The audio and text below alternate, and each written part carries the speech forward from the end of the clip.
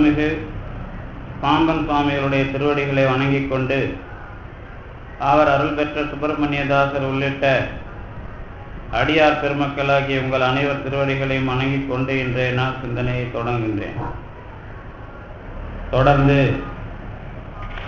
ஞான வேள்வி நிகழ்ந்து வருகின்ற நம்முடைய தகராலய மண்டபத்தில் இன்றைய நாள் ஒரு சிறப்பான வழிபாட்டில் மக்கள் எல்லாம் இருக்கின்ற நாள் என்றாலும் நாளை திருக்கார்த்திகை அமைய இருக்கிறது. அதனுடைய விழாவை வரவேற்கும் முகமாக இன்றைய கோகுலாஷ்டமி இருந்தாலும் நம்முடைய பாம்பன் சுவாமிகள் எப்படியெல்லாம் நமக்கு அதாவது வருத்தப்பட்டும் கடினப்பட்டும் கொள்கையை நிலைநாட்டி சென்றாரோ அதை இன்றைக்கு நாம் நினைவு கூற வேண்டியவர்களாக இருக்கின்றோம் என்பதுதான் உண்மை. ராமானுஜரை உலகமெல்லாம் எல்லோருக்கும் எட்டு எழுத்து மந்திரத்தை ஓம் நமோ நாராயணாய என்ற மந்திரத்தை எல்லோரும் தெரிந்து கொள்ள வேண்டும் என்பதற்காக கோபுரத்தில் ஏறி சொன்னார் என்பதாக ஒரு வரலாறு சொல்லப்படுகிறது. ஆனால் அந்த வரலாறு உண்மையில்லை. கட்டுக்கதையாக சொல்லப்பட்டது என்பதை அக்னிகோத்திரம் ராமானுஜாச்சாரியார் அந்த இதில் நக்கீரனில் தொடர்ந்து எழுதினார்ல. அவர் அதை ராமானுஜருக்கு சொல்லப்படுகிற அந்த கதை பொய் என்று தெளிவாக எழுதியிருக்கிறார். ஏன் அதை சொல்றார் என்றால் ராமானுஜர் எழுதிய விசிஷ்டாத்வைத பாக்கியத்தில் அல்லது ஸ்ரீபாஷ்யம் ராமானுஜர் எழுதிய உரை ஸ்ரீபாஷ்யம் அதிலே அதில் அவர் என்ன எழுதுகிறார் என்றால் நீங்கள் எல்லாம் பிரம்ம ஞானத்தை கடவுளை அடைய வேண்டும் என்று சொன்னால் இப்பொழுது நீங்கள் ஏதோ ஜாதியில் பிறந்திருப்பீர்கள். உங்களுடைய ஜாதியில் பக்குவம் அடைந்து நீங்கள் பிராமணனாக பிறந்தால்தான் பிரம்ம ஞானம் அடைய முடியும் என்று எழுதியிருக்கிறார். அதனாலே ராமானுஜர் எந்த காலத்திலேயும் அதை யாருக்கும் உபதேசிக்கவும் இல்லை. அந்த எண்ணத்திலும் அவர் இல்லை என்பதை தெளிவாக வைணவரான ஸ்ரீரங்கம் வைணவர் அவர். அவரை தன்னுடைய நூலில் அந்த நக்கீரன் வெளியீட்டிலே நீங்கள் பார்க்கலாம். தொடர்ந்து கற்ற எழுதி வந்தவர் இந்து மதம் எங்கே போகிறது? என்பதாக எழுதிய. அந்த நூலில் அவர் தெளிவாக மறுத்திருக்கிறார். ஏன் அதை நான் சொல்லுகிறேன் என்றால் வேதம் கடந்து பிரம்மத்தை அனுபவிப்பது என்பதாக ஒரு விஷயத்தை எடுத்துக்கொண்டு தமிழ்நாட்டில்தான் தெளிவாக எடுத்து மக்களுக்கு எல்லா வகையிலேயும் விளக்குகிறார்கள். வடநாட்டிலே ராமானந்தர் அதற்கு முன்பாக வித்யாரண்யர் இவங்க தான் முதல்ல பக்தி இயக்கம் வடநாட்டில். பதிமூணாம் நூற்றாண்டில் ஒரு ரெண்டு பேர் வராங்க பதிமூணு பதினாலில். ஆனால் தமிழ்நாட்டில் அருணகிரிநாதர் வந்து பரவலாக வேலை செய்த பிறகு அதை பார்த்து ராமானந்தர் வடநாட்டிற்கு பக்தியை கொண்டு சென்றார். இதை கபீர்தாசர் எழுதுகிறார். கபீர்தாசர் உங்களுக்கெல்லாம் தெரியும். வள்ளலாரை போன்று பெரிய அளவிலே தத்துவம் வடநாட்டிலே பேசியவர். அவருடைய மாணவர் தான் குருநானக். சீக்கிய மதத்தை தோற்றுவித்த குருநானக்கு கபீர்தாசருடைய மாணவர். கபீர்தாசருடைய குரு தான் ராமானந்தர். இந்த ராமானந்தரை பற்றி எழுதுகிற காலத்தில் கபீர் திராவிட உபஜி பக்தி லாயே ராமானந்த என்று எழுதுகிறார். பக்தி திராவிடர்களுடைய உபயமாக நமக்கு கிடைத்தது. அதை கொண்டு வந்து வடநாட்டிலே இயக்கியவர் ராமானந்தர் என்று கபீர்தாசர் எழுதுகிறார். பக்தி திராவிட உபஜி லாயே ராமானந்த ஹிந்தியில் எழுதுகிற தோகா. தோகன்னா திருக்குறள் மாதிரி. என்ன காரணம் என்றால் இந்த பக்தி நெறியில் அவர்கள் வர முடியாமல் போனதற்கு மிகப்பெரிய காரணம் இஸ்லாமிய தாக்கம். இஸ்லாமியர்கள் மிகப்பெரிய அளவில் வட இந்தியாவை அதனுடைய பண்பாட்டை சீரழித்தவர்கள். அதனால்தான் ஆர்எஸ்எஸ் இன்றைக்கும் அங்கே தேவைப்படுகிறது. நமக்கு ஆர்எஸ்எஸ் வந்து ஜாதி பேதமாக அதை பயன்படுத்துவதற்கு அவர்கள் இங்கே தமிழகத்தில் வைத்திருக்கிறார்கள். ஆனால் வட இந்தியாவில் இந்து சமயம் காப்பாற்றப்படுவதற்கு அது மிகவும் தேவை என்பதாக அங்கே போகிறவர்களுக்கு தெரியும். அஹ், நானும் காசியில் இருந்த போதெல்லாம் மௌ என்ற கிராமத்தில் பக்கத்தில் இருக்கிற சில கிராமங்கள்லாம் படுகொலைகள் பயங்கரமாக நடக்கும் முஸ்லீம். ஆனால் அது வெளியே பத்திரிகையில் கூட அந்த செய்தி வராது. நூறு இருநூறு கொலைகள் கூட நடக்கும். ஆனால் சுத்தமாக பத்திரிகைகளில் வெளியே வராது.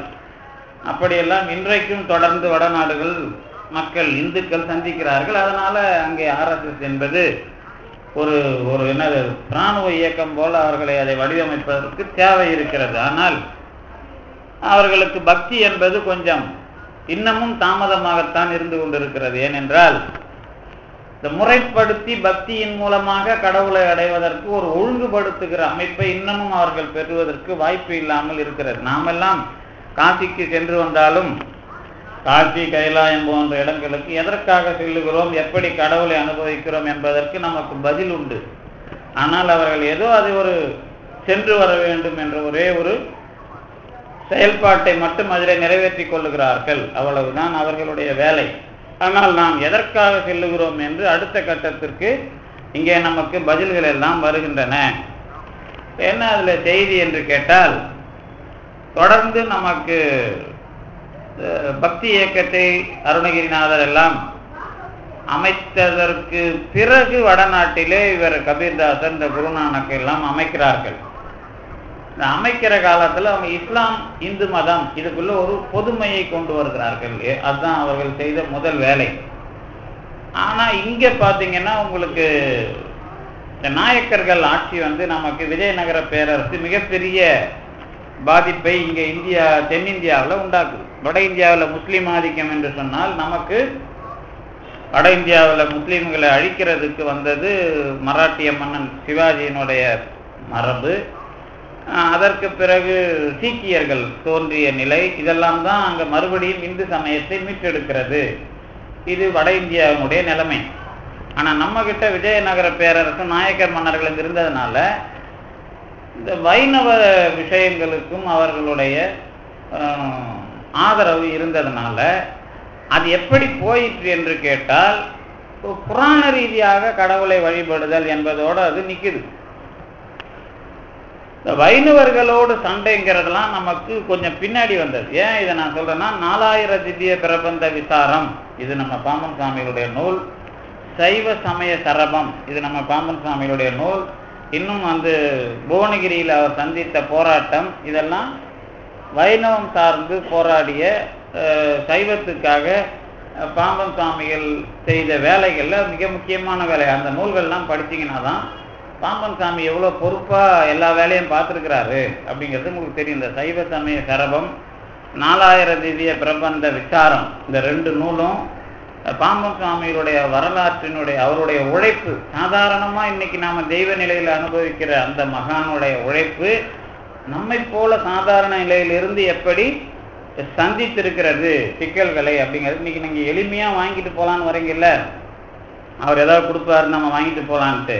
ஆனா இந்த சாதனைக்கு முன்னாடி அவர் எவ்வளவு பெரிய வேலைகளை சந்தித்திருக்கிறார் எவ்வளவு பெரிய பிரச்சனைகளுக்கு கூடாரும் எவ்வளவு பெரிய கூடுதலாக நமக்கு அவர்கள் உதவிக்கோ அல்லது வந்து பெரிய அளவுல ஒரு இயக்கமாவோ கூட்டம் இல்லாம சமயத்திலையும் அவர் எதிலெல்லாம் முருகனை நம்பி ஜெயித்திருக்கிறார் அப்படிங்கிறதெல்லாம் நீங்கள் பார்த்தீங்கன்னா அந்த சைவ சமய சரபத்தில் அதனுடைய வலி உங்களுக்கு எல்லாம் தெரியும்.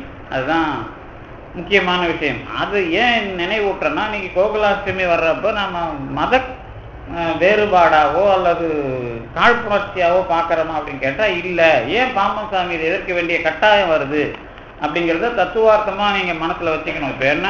இங்கே வர்றவங்களில் பாதி பேர் கோகுலாஷ்டமி கும்பிட்டுட்டு வரலாம் இல்லை கும்பிட்றதுக்கு வீட்டில் இருக்கிறவங்ககிட்ட சொல்லிட்டு வந்திருப்பீங்க. தொண்ணூறு சதவீதம் பேர் கோகுலாஷ்டமிக்குள்ளே இல்லாமல் யாரும் இங்கே வந்து உட்காந்துருக்க மாட்டீங்க. பாம்பன் சாமிக்கு நீங்கள் பத்தினியான்னு கேட்டியோ பாம்பன் சாமி நீ வழிபட்டா கோகுலாஷ்டமிலாம் கும்பிடக்கூடாது நான் சண்டலாம் போட முடியாது. இருந்தாலும் அதுக்கான அடிப்படையே நமக்கும் சமாதானப்படுத்துகிற மாதிரி ஏதாவது ஒன்று விஷயமா நம்ம என்ன தெரிஞ்சுக்கலாம் அப்படிங்கிறது தான் ஒரு சின்ன குறிப்பு. அதில் என்னன்னு கேட்டிங்கன்னா முதல்ல பாம்பன் சாமியே நன்றி ஒருத்தருக்கு தெரிவிக்கிறார் சோமசுந்தர நாயகருக்கு. ஏன்னா அவர் தான் இதை முதல்ல சந்தித்தவர் வைணவர்கள் பிரச்சனையை. முக்கியமாக எப்படி சந்திக்கிறார்னு கேட்டிங்கன்னா விஷ்ணு பெரியவனா சிவன் பெரியவனா இந்த மாதிரி போராட்டத்தை பதினெட்டாம் நூற்றாண்டுடைய இறுதியிலேயும் பத்தொன்பதாம் நூற்றாண்டுடைய தொடக்கத்திலேயும் எழுப்புகிறார்கள். இதுக்கு காரணம் என்னன்னா நாயக்கர்கள் ஆட்சியில் இங்கே வந்த வைணவ தாக்கம் இது வந்து இந்த வேலையை செய்யுது. ஏன் அப்படின்னா எல்லா கோயில்கள்லையும் புராண ரீதியாவே இதெல்லாம் என்ன பண்ணாங்க? பதிவு செஞ்சுட்டாங்க. கோயிலில் நீங்கள் பார்க்குறீங்க அப்படின்னா ரெண்டு விஷயம் நம்ம கோயில்கள் இருக்கும். ஒன்று சைவ திருக்கோயில்களில் பாலியலான உருவச் சிலைகளும் இந்த சிற்பங்களும் ஓவியங்களும் நிறைய இருக்கும். திருநெல்வேலிக்கு போனீங்கன்னா நுழையும் போதே நிமிந்து பார்த்தீங்கன்னா மரச்சிலையில் இருக்கும். இன்னும் ராமலிங்கம் ராமேஸ்வரம் இதெல்லாம் போனீங்கன்னா இந்த அந்த செக்ஸ் அல்லது பாலியல் உறவு சம்பந்தமான சிற்பம் ஓவியங்கள்லாம் நிறைய இருக்கும். இதுக்கெல்லாம் காரணம் நாயக்கர்கள். பல்லவர்கள் இருக்கும்போதெல்லாம் புராணம் இருக்கும் பண்பாடு இருக்கும் அதுக்குள்ள. பல்லவர்களுடைய சிற்பங்கள்லையோ பல்லவர்களுடைய ஓவியங்கள்லையோ அதுக்கப்புறம் சோழர்களுடைய ஓவியங்கள் வரைக்கும் ஒரு பண்பாடு அதுக்குள்ள ஏதாவது ஒரு புராண கருத்து அதுக்குள்ள ஒரு செய்தி இருக்கும். ஆனா இந்த செக்ஸ் சம்பந்தமான ஓவியங்களையும் சிற்பங்களையும் கொண்டு வந்து இறக்குமதி பண்ணவன் நாயக்கன். நாயக்கன் அப்படின்னா யாருன்னா தெலுங்கு தெலுங்கு இவங்க தான் இவங்களை நாம ரொம்ப பாராட்டுவோம். ஆனா இவங்களால நம்ம பண்பாடு குடிச்சவரானது அப்படிங்கிறது தான் மறைமுகமான உண்மை. அதனால இவங்க காலத்துல ஏகப்பட்ட இலக்கியங்களும் வருது ஏகப்பட்ட சிற்பம் ஏகப்பட்ட ஓவியம் அது இது இன்னும் கேட்டா ராமலிங்க விலாசம் ராமேஸ்வரத்துக்குள்ள போனீங்கன்னா ராம அந்த சேதுபதி உள்ள வந்து தன்னுடைய மனைவியோடயே கூடியிருந்ததை சித்திரமா வரைஞ்சி வச்சிருப்பாரு. நீங்க இப்போ இப்பவும் பார்க்கலாம். இப்போ இந்த நூல்களில் படம்லாம் உங்களுக்கு கிடைக்கும். இது எதுக்கு இதெல்லாம் சொல்ல வரணும் அப்படின்னா இவ்வளவு மோசமாக ஒரு காலகட்டத்தினுடைய விளைவுல தான் பாம்பன் சாமி வர்றாரு. அதுக்கு கொஞ்சம் முன்னாடி சோமசுந்தர நாயகர் வர்றாரு அப்படிங்கிறத பார்க்கணும். நீங்க ஏதோ சும்மா இதுல ஒரு வேடிக்கை நிகழ்ச்சிலாம் கிடையாது. ஒரு பெரிய சமூகத்தை ஒரு பெரிய ஆட்சி செய்கிற ஒரு கூட்டம் தலைகீழாக சிந்தனையை பண்பாட்டை மாற்றுகிறது. இதுதான் உண்மை. இன்னைக்கும் தெலுங்கு அல்லது விஜயநகர நாயக்க மன்னர்களுடைய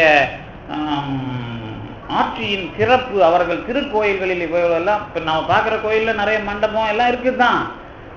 ஆனாலும் இவர்கள் இவ்வளோ சிற்பக்கலையை வளர்த்தார்கள் ஓவியக்கலையை வளர்த்தார்கள்னு இதை எழுதி பாராட்டுறவங்க எல்லாம் பெரும்பாலும் தெலுங்குகளாக இருப்பாங்க. ஏன் அப்படின்னா அவங்க அதை தொடர்ந்து மெயின்டைன் பண்ணணும். அதை இந்தியாவுக்கு தமிழ்நாட்டுக்குள்ள இந்த கலாச்சார சீரழிவை அவங்க தொடர்ந்து அதை பாதுகாத்து வர்றதுக்கு தான் இவங்கெல்லாம் நூல் எழுதுவாங்க. பாராட்டி பாராட்டி.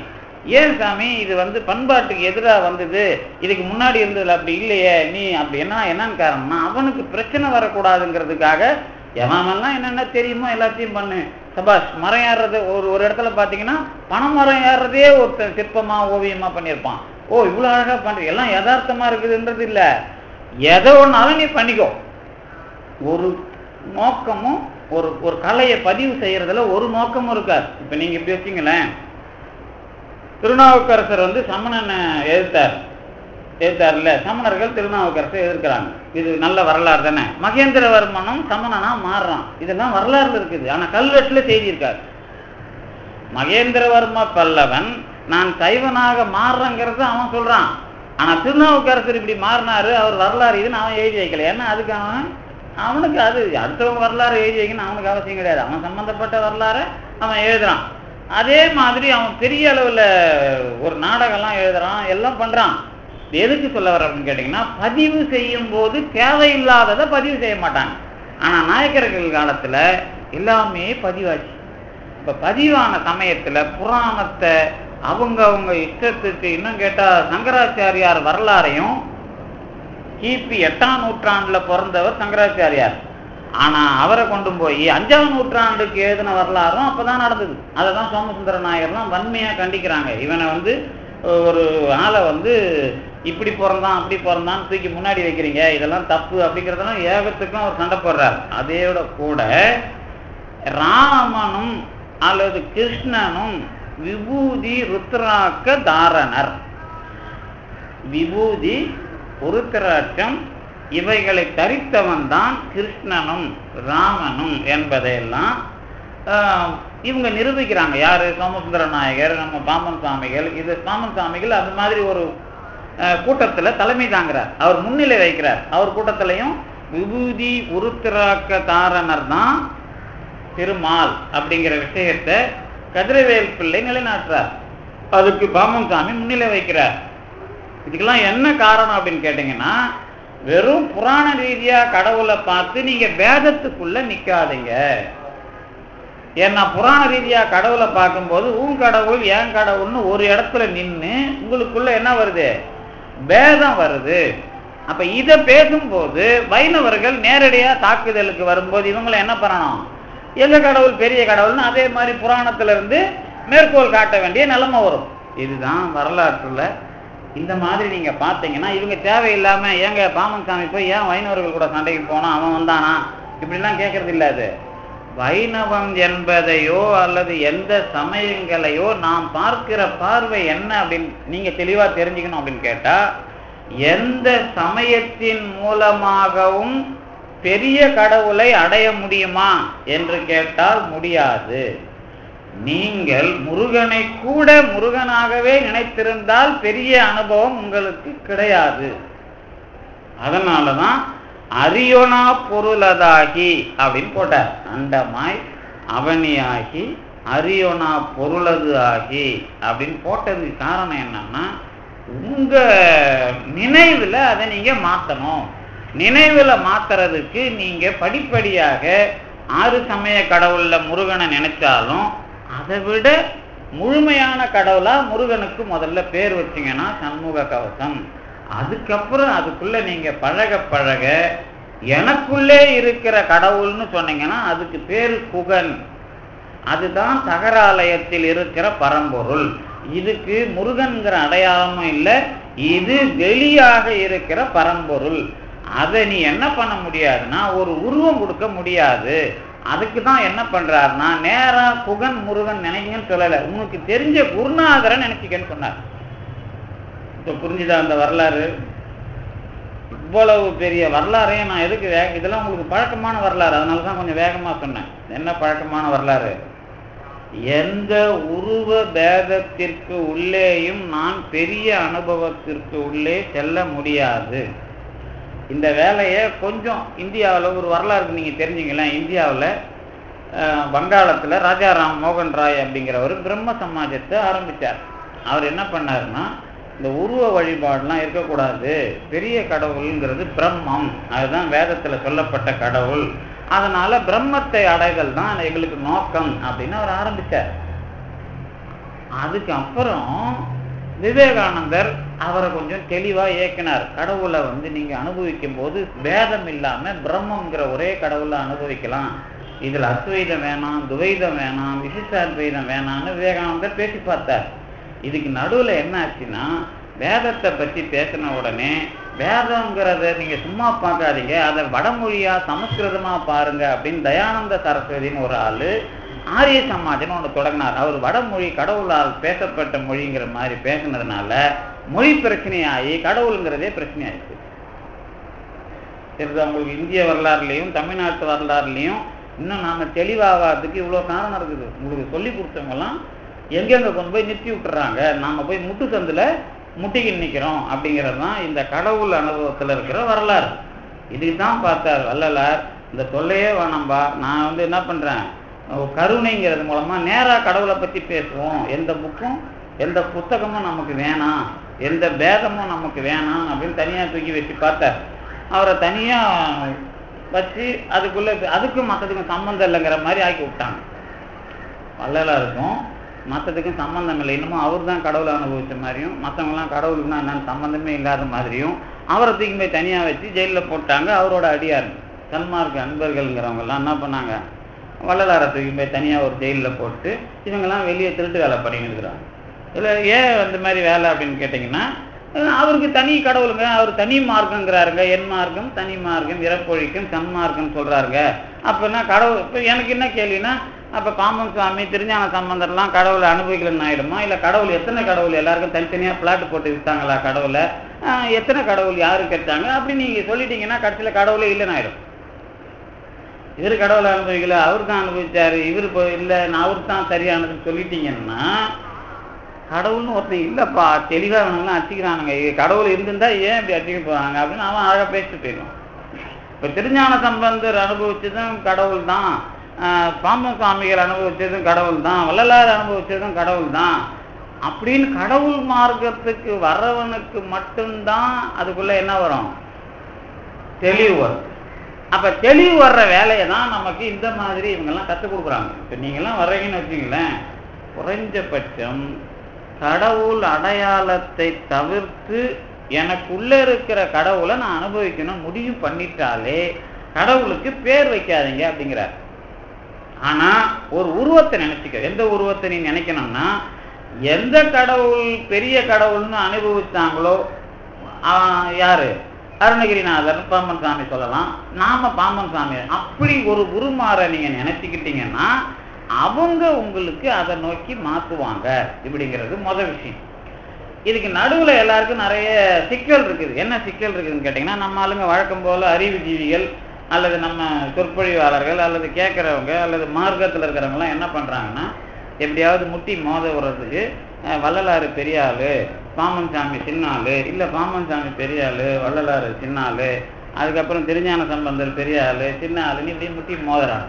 இந்த முட்டி மோதிர வேலையில நீங்க எந்த அளவுக்கு தெளிவடைஞ்சிருக்கிறீங்க அப்படிங்கிறது தான் உங்களுடைய கான்ஃபிடென்ட் அல்லது அஹ், தெளிவான உறுதி. இந்த உறுதிக்குள்ள நீங்களாம் இருந்தீங்கன்னா தான் அடுத்தவங்க சொல்றத வச்சு சண்டையும் போட மாட்டீங்க. அடுத்தவங்க சொல்றதை விட உங்க மார்க்கத்துல தெளிவா இருப்பீங்க.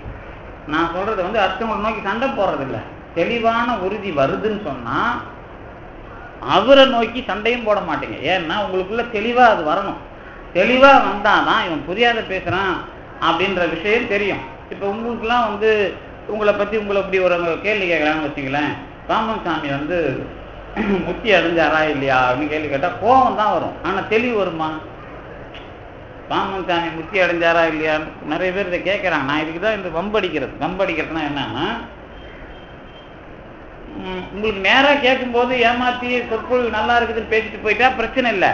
அதாவது ஒரு பாட்டை பாடி ஆஹா ஓஹோ அப்படின்னு சொல்லிட்டு போனா அதோட முடிஞ்சிடும் நீங்க கொள்கையா வரும்போது எந்தெந்த இடத்துல நீங்க தெளிவா இருக்கிறீங்கன்னு கேட்கும்போது எல்லாருக்கும் இடிக்குது இல்ல இப்ப இந்த கேள்வி நான் கேட்கறது இது தொடர்ந்து நான் ரெண்டு வருஷமா இதுக்கு ஏகப்பட்ட முயற்சி எடுத்து விளக்கமா சொல்லி தெளிவுபடுத்துறேன். அதை முறையா கேட்கறது இல்லை நடுவு நடுவில் ஏதாவது ஒன்று சொல்லிட்டு அடுத்தவனை கெடுக்கிற வேலை. இந்த வேலையை தொடர்ந்து நிறைய பேர் பண்ணிட்டு இருக்கிறாங்க. அதில் இப்போ சமீபமாக தெரிஞ்சுக்கினது இது. என்ன அப்படின்னா உங்களுக்கு இந்த விஷயம் நான் சும்மா சொல்லலை. அதாவது தொடர்ந்து இந்த பிரச்சனைக்குள்ள நீங்க மாட்டக்கூடாது அப்படிங்கிற வெளியில இருக்கிறவங்க பத்தி நமக்கு கவலை இல்லை. இப்ப பாம்பன் சாமியை சாமி கும்பிட்டுட்டு அவர்கிட்ட வாங்கி போகலாம்னு வெளியில சொல்றாங்கல்ல இல்லைங்க. என்னை வந்து ஒருத்தன் கேட்டாங்க. சார் எங்கள் பொ- பொண்ணுக்கு பிரச்சனை இருக்குது நான் என்ன பண்ணுறதுன்னா பொண்ணும் பரவாயில்ல. நீ வந்து பாம்பன் சாமியை கும்பிட்டு போ உன் இருக்கிற சிக்கலை தீர்ப்பாருன்னு சொல்லுவேன் அவ்வளோதான் ஆனால் பாம்பன் சாமிங்களோட எல்லா பிரச்சனையும் அவங்களுக்கு தெரியுமா? பாம்பன் சாமி எந்த அளவுக்கு கொடுப்பாருன்னு அவங்களுக்கு தெரியுமா? அவங்களுக்கு நம்ம ஒரு வழி தான் காட்டுவோம். இப்போ நீங்கள் தான் என்ன பண்ணுவீங்கன்னா இப்போ உங்களுக்கும் வாழ்க்கையில் பிரச்சனை இல்லை நீங்களும் ஏதோ சாமி கும்பிட்ற வந்து அந்த சொற்பொழிவே தேவை இல்லை சாமியை சரியாக கும்பிட்டு போயிட்டே இருக்க வேண்டியதானே அப்போ உங்களுக்கு தான் இந்த கேள்வி வரும். இப்போ நீங்கள் பாம்பன் சாமி சரியாக முத்தி அடைஞ்சாதானே உங்களுக்கு கொடுப்பாரு? இந்த கேள்வி வருமா வேணாம்? பாம்பன் சாமி சரியா முத்தி அடைஞ்சாதான் உங்களுக்கு கொடுப்பார். அப்போ நான் அதுக்கு தான் என்ன பண்ணேன்? அன்னைக்கு கூட ஒரு விஷயம் சொன்னேன். ரமணர் கேட்டா கொடுக்குறாரா இல்லையான்னு நான் தெளிவா சொல்லணும். ரமணரை பொறுத்த வரைக்கும் ரமணர் மட்டும் இல்லை திருவண்ணாமலையை சுத்தி யாரெல்லாம் முத்தி அடைஞ்சாங்களோ அவங்களுக்கு உங்களுக்கு என்ன தெரியாம இருக்கலாம். அங்க முருகனுடைய விஷயம் இல்லாமல் முத்தி கிடையாது அங்க பேரும் வாங்க முடியாது. முருகனுடைய விஷயம் இல்லாம முத்தியும் கிடையாது. பேரும் வாங்க முடியாது. அவ்வளோதான் எனக்கு தெளிவாக தெரியும். உங்களுக்கு தெரியலன்றதுக்காக நான் சண்டை போட்டுட்டு இருக்க முடியாது. இது எனக்கு வேலையும் இல்லை. கேட்குறவங்களுக்கு அனுபவத்தில் தான் சொல்லிக் கொடுக்கணும். இதை தான் அந்த காலத்தில் பிஸ்னஸாக பண்ணாங்க. என்ன பிஸ்னஸ்னா ஒரு குருமார்கிட்ட கேட்டுக்கன்னா அவன் கேட்டு அடங்கி கேட்பான். ஓப்பனாக சொற்பொழில இது மாதிரி சொல்ல மாட்டோம்ல ஏன்னா சண்டைக்கு அர்த்தம் வரோம்ல ஏன் நம்ம ஓப்பனாக சொல்கிறோன்னா நாம தான் இப்போ தெளிவாக இருக்கிறோம். என்னென்னா நமக்கு தெரிஞ்சதை தெளிவாக சொல்கிறோம் நம்மளோட சேர்ந்தவன் கேட்க போகிறான் தெரியாதவனுக்கு பேசுறதுக்கா அல்லது சண்டை போகிறதுக்கா நம்ம வேலை இது. அது இல்லை நம்ம வேலை. அதனால இன்னமும் நீங்க திருவண்ணாமலை எடுத்துங்க யாராவது பேர் வாங்குறாங்க அங்க இருந்துகிட்டு அப்படின்னா அது அங்க இருக்கிற கடவுள் அவர் எளிமையா விட்டுற மாட்டார். எனக்கு தெரிஞ்சு சில பேர் சொல்லியிருக்கிறாங்க இவர் திருவண்ணாமலையில எனக்கு தெரிஞ்ச ஒருத்தர் இருக்கிறாருங்க. அவரு அவர்கிட்ட இவர் போனாராம். யாரும் இல்லை நம்ம கவிஞர் அவர் சொன்னாராம் பா தப்பி தவறி துறவுக்குலாம் வந்துடாதப்பா அது எவ்வளோ ரொம்ப கஷ்டம்பா. அது மாதிரி நாங்களாம் வந்து தெரியாதனமாக மாட்டிக்கிட்டோம். அப்படின்னு ஏறக்குறைய எழுபத்தஞ்சு சதவீதம் பேர் திருவண்ணாமலையை சுற்றி புலம்புறவர். நான் ஒரு தடவை போனேன். ஒரு அம்மா பிச்சை கேட்டுது. நான் கிட்ட போனேன். ஏம்மா திருவண்ணாமலையில் வந்து உனக்கு யாராவது கொடுத்தா வாங்கிக்கோ. இல்லைன்னா நீ அப்படியே செத்தே போயிரு. இங்கே வந்து என்னை கேட்காத. அப்படின்னு ஒரு திருத்திட்டே போனேன். இதெல்லாம் சாட்சிலாம் இருக்குது. இது எதுக்கு சொல்ல வரேன்னா நம்மளை கேட்கும்போது நம்ம பெரும்பாலும் மாட்டுறதில்லை மாட்டினா இந்த மாதிரி சொல்லிடுவோம். தேவை தேவையில்லாமல் சொல்கிறதில்ல தெளிவாக அங்கேயும் அதான் சொல்கிறது நாம. என்ன விஷயம்னு கேட்டிங்கன்னா இப்போ பாம்பன் சாமி எந்த மாதிரி முத்தி அடைஞ்சார் அப்படிங்கிறது நீங்கள் எந்த அளவுக்கு தெளிவடைஞ்சிருக்கிறீங்க சரி வள்ளலார் முத்தி அடைஞ்சாருங்கிறது எந்த அளவுக்கு தெளிவடைஞ்சிருக்கு? இது ரெண்டும் நான் சும்மா கேட்கல இந்த மறைமலடிகள் என்ன பண்ணார்? பாம்பன் அது வள்ளலார் மறைஞ்சு ஒரு நாற்பது வருஷத்துக்குள்ள அங்கே போகிறார் நான் அந்த புக்கெல்லாம் போன வாரம் எடுத்துகிட்டு வந்தேன். இந்த வாரம் தூக்கிட்டு வரல அது. ரெண்டு புத்தகம் மறைமலடிகள் வரலாறு. அவர் பையன் எழுதினாரு. அதை அவங்க பேரையிட்ட பதிப்பிச்சிருக்கிறார். அண்மையில் கிடைக்குது. மறைமலடிகள் டைரியை வச்சு இந்த வரலாறு எழுதினான். அதில் முக்கியமான விஷயம் என்ன அப்படின்னா வள்ளலாருங்கிறவர் மறையில அறகுறையாக செத்து போயிட்டாரு. அவரை வந்து எறும்புலாம் இருந்ததை பார்த்துருக்குறாங்க. அவர் சும்மா வந்து இவங்க சொல்கிறதெல்லாம் பொய் அப்படின்றத தெளிவாக வந்தால் டயரில் எழுதி அந்த புத்தகத்துலேயும் வந்துருக்கு நீங்கள் இன்றைக்கும் போய் அந்த புத்தகத்தை வாங்கி பார்க்கலாம். இது உச்சி கூட்டுற வேலை இல்லை. இது மாதிரி ஒரு பக்கம் தெளிவாக பண்ணிட்டு இருக்கிறாங்க. இதே மாதிரி இந்த பக்கம் பாமன் சாமி வரும்போது அங்கேருந்து சமாதி சமாதி ஆனாராம் இங்கே வந்து சேர்றதுக்குள்ள வயிறு வீங்கி போச்சான் அவர் சமாதி ஆனாரா அடைஞ்சாரா இல்லையா? இப்படின்னு அவங்க சொல்கிறோம் இது ரெண்டுமே நடக்குது. நான் என்ன சொல்றேன்னு கேட்டா நான் அதுக்கு தான் பார்த்து மருந்தீஸ்வரர்ல ஒருத்தர் அப்படியே பக்கத்துல கேள்வியெல்லாம் கேட்டுட்டு இருப்பார். திடீர்னு எனக்கு பெரிய கேள்வி கேட்டார். அவரை நை நைனிட்டு இருந்தார். கோபம் வந்துச்சு கோபம் இல்லை. அவருக்கு சரியா கடைசி பதில் வைக்கணும். உன் பொண்டாட்டி உனக்கே பொண்டாட்டியா உனக்கு பொண்டாட்டியான்னு கேட்டேன் இப்படிதான் கேட்டேன் உன் பொண்டாட்டி? உனக்கு பொண்டாட்டியா? உனக்கே பொண்டாட்டியா? அப்படின்னு கேட்டேன். அவர் பையனும் இருக்கிறான். அவனும் சாஃப்ட்வேர் இன்ஜினியர் தான். எனக்கு கோவம் வந்ததுனால கேட்கல. தெளிவா கடைசியில புரிய வைக்கணும். எனக்கு தான் பொண்டாட்டின்னு சொல்ல முடியல. சொல்லுந்தா எப்படி இருப்பீங்க? சொன்னா தானே பழகுறீங்கன்னு அர்த்தம். இல்லைன்னா நாம ஏமாத்துறோன்னு அர்த்தம். பழகனா என் பொண்டாட்டி தாங்க. எனக்கு தாங்க பொண்டாட்டி. எனக்கே தாங்க பொண்டாட்டி. அப்படின்னு சொல்லறோம் அப்படின்னா என்ன அர்த்தம்? பழகுறதுன்னு பேரு. எனக்கு நண்பன் இப்ப நம்ம நண்பர்களை சொல்ல முடியல. அஹ் சொல்ல முடியல. குறைஞ்சபட்சம் பொண்டாட்டியை சொல்லணும்னா செத்து போக வேண்டியதுதான். இதுதானே உண்மை. பிள்ளைய சொல்ல முடியாது. அப்பாவை சொல்ல முடியாது. அப்பா அம்மாலாம் எனக்கு பேதம் காட்டுறாங்க அப்படின்னு சொல்லலாம். ஒருத்தர் ஒருத்தர் ஒருவேளை பொண்டாட்டி சொல்ல வேண்டிய நிலைமை வந்தால் செத்து போயிடணும். அதுக்கப்புறம் அவன் இருக்கக்கூடாது. சரிதானே? அப்போ சொல்லலைன்னா நீ வாழக்கூடாது. அதாவது உன்னை பழகுற அப்படின்னு அர்த்தம் இல்லை. இது என்னோட அதாவது புரிய வைக்கிறதுக்கான உதாரணம் சார். திட்டுறது இல்லை இது. இப்படி சொன்னாதான் உங்களை குத்தும். உங்களுக்கு உடனே புரியும். அதுக்காக சொல்ற உதாரணம். ஏன்னா சின்ன சின்ன உதாரணம்னா தீயில சொல்லி சொல்லி உங்களுக்கு மரத்து போய் கிடக்குது இல்ல இப்ப நிறைய உதாரணம்லாம் சொல்லி மரத்து போய் கிடக்குறோம். எந்த உதாரணத்தை எப்படி புரிஞ்சுக்கிறதுன்னு தெரியல. அதனால கொஞ்சம் ஆணியை வேகமா அடிப்பேன் நான். அப்போ அடித்த உடனே ஆமாங்க நீங்கள் சொல்கிறதுலாம் அஹ் நான் எங்கள் பசங்கிட்ட காலேஜ்லாம் சொல்லுவேன். நீங்களாம் இப்படியே போனீங்கன்னா இதே மாதிரி சமூகம் இருந்தால் உங்களுக்கு எல்லாம் நல்ல உத்தமமான ஒரு பொண்ணு கிடைக்கிறதுனா ரொம்ப கஷ்டம்பா. செல்ஃபோன் வந்த பிறகு அப்படின்னு ஆமாம் சார்னு ஒத்துக்கிறான். இரு- அறுபது பசங்களும் ஒத்துக்கிறான். ஏன்னா அவனுக்கு தெரியும் உண்மை உங்களுக்கு தெரியாது. இப்போ எதுக்கு இதை சொல்ல வரனா சமூகத்தை நாம் கட்டி காப்பாற்றுற விஷயங்கள்ல இதெல்லாம் பிரச்சனையாக இருக்குது. அப்போ தான் என்னன்னா பழகுறதுல நான் முடிவெடுக்கணும். இதுதான் எல்லாத்துக்கும். இதுதான் திருவுந்தியார்னு ஒரு இலக்க சாத்திரம் என்ன சொல்லுது அப்படின்னா சித்தானந்த ஓய் திருவுந்தியார் ஒரு மிகப்பெரிய சாத்திரம். அவர் என்ன சொல்கிறாருன்னா திரு திரு கடவுர் உய்ய வந்த தேவ நாயனார் அவர் எழுதினது. அவர் என்ன சொல்கிறாருன்னா பழக்கம் தவிர பழகுவது அன்றி உழப்புவது என்பேனே உந்தீபர. அதாவது பழக்கம் தவிர பழகுவது அன்றி உழப்புவது என்பேனே உந்தீபர அப்படின்னா பழகுறதுல தெளிவா பழக நான் தான் அடிக்கடி உங்களுக்குலாம் சொல்லுவேன். எங்கேயும் பேசினாலும் ஒரு தனிப்பாடல் இருக்குது. நாங்க எங்க காலேஜ் விவேகானந்தா காலேஜ்ல நானே தனிப்பாடலை எடுத்து வச்சேன். இதெல்லாம் பசங்களுக்கு வைங்க சார். யாராவது கேட்டா பிறந்த நாளை சொல்லாத. உன் வீட்டுல இருக்கிற வறுமையை சொல்லாத. உங்க வீட்டுல நடந்த சண்டையை சொல்லாத இப்படின்னு சொல்லக்கூடாத விஷயங்கள்னு ஒரு பட்டியல் தனிப்பாடலாம் இருக்குது. அதை எடுத்து நான் வச்சேன். என்ன சார்? அதே மாதிரி விருந்து வரவேற்கிறதுனா எப்படி? அப்படின்னா வந்தா முகத்தோட வர வைக்கணும் உட்கார்ந்து ரெண்டு வார்த்தை பேசணும் அப்புறம் போய் அனுப்பிட்டு வரணும். இப்படிங்கிற விஷயம்லாம் இப்ப இதெல்லாம் எடுத்து வைப்போம்னு நம்ம எடுத்து வச்சேன். அப்ப இதுல இந்த சொல்லக்கூடாத விஷயங்கள்னு வருது. இப்ப வெளியில இருக்கிறவங்க கிட்ட தான் நாம சொல்லக்கூடாது. சரிங்க எல்லாத்தையும் சொல்லி என் மன வக்கிரம் வந்து கலையணும் இதுக்கு தானே பொறுப்பேற்றுக்கிறோம் பொறுப்பேற்றது எதுக்கு? என்னுடைய மன வக்கிரம் கலையணும். மன வக்கிரம் இல்லாம நம்ம யாரும் பிறக்கல. மன வக்கிரம் எங்க கலைய கலைக்கணும் அப்படிங்கிறது தான் கடவுள் என்ன பண்ணா ஆம்பளை பொம்பளை ரெண்டு வித்தியாசமா படைக்க வச்சு இயற்கையா இவங்களுக்குள்ள ஈடுபாடு வர்றதுக்கு தான் பால் உறவை வச்சு அங்க விதியை வச்சான். இல்லையா அங்கேயும் நான் ஒளிவு மறைவு இல்லாம வாழ முடியல அப்படின்னா எதுக்கு வாழணும்? அதுக்கு தான் இவர் எவ்வளோ தப்பா பேசினாலும் தப்பானவர் இல்லை அப்படிங்க முதல்ல பேசிடணும். இதுக்கப்புறம் இவர் தப்பானவர் இல்லைங்கிற முடிவுக்கு வரணும். சந்தே சில பேர் நிறைய பேர் என்ன பண்ணோம்? முதல்ல பேசிடுவான். இவர் ஆர்வ கோளாறுல இப்போ எனக்கு தெரிஞ்ச ஒருத்தர் நேற்று அவருக்கு அப்படி தான் அட்வைஸ் பண்ணேன். அவர் தருமபுரிலேருந்து வந்தார். அவர் இங்கே இன்னைக்கு கிளாஸ்க்கு வந்திருக்க மாட்டார். அவர் நம்ம நண்பர். அவர் முதல்ல ஒரு போனார். நல்ல கண்ணு தலைமையில் கல்யாணம் வச்சார். என்னையும் கூப்பிட்டார். நான் அந்த கல்யாணத்துக்கு போகல. கடைசியில் பார்த்தா ஒரு வாரத்தில் அந்த பொண்ணு ஓடி போச்சு அவர் யாருக்கும் சொல்லாத நேரம் நான் மைக்கில் சொல்கிறேன் ஏன்னா அவர் சார்ந்து இங்கே யாரும் இல்லை. முதல் நாள் தான் பார்த்து அட்வைஸ் பண்ணார். ரெண்டாவது முடிஞ்சு போச்சு ஓடி போச்சு அது ஒன்றும் பிரச்சனை இல்லை. அவருக்கு வேற ஒருத்தனை காதலிச்சது இவரை பேர் வச்சுட்டு ஓடி போச்சு அதுக்கப்புறம் போனார். அவங்க அக்கா பொண்ணு ரொம்ப நாளாக சொல்லிக்கிட்டு இருந்தாங்க அதை கல்யாணம் பண்ணார். அதுவும் ஒரு வாரம் இருந்தது. இன்னொருத்தவங்க கூட ஓடி போச்சு நான் சொல்கிறது ஒரு மாதம் ஆறு மாதத்து கதை. அதுக்கப்புறம் இப்போ மூணாவது என்ன பண்ணார்? கல்யாணம் பண்ணாத வேற ஒரு பொண்ணை கூட்டின்னு வந்து குடும்பம் நடத்தினார். அது கூட கல்யாணம் பண்ணலாமா வேணாமான்னு என்ன கேட்குறாரு இது நடுவில் இந்த பிரச்சனைலாம் உங்களுக்கு சொல்ல மாட்டேன். இது எதுக்கு சொல்ல வரேன் அப்படின்னு கேட்டிங்கன்னா இன்னைக்கும் அவரை பாப்புன்னு வச்சுங்க? ஆனால் யாரையும் கூட கூட்டிகிட்டு போக மாட்டேன். இது எதுக்கு சொல்ல வரேன் அப்படின்னு கேட்டிங்கன்னா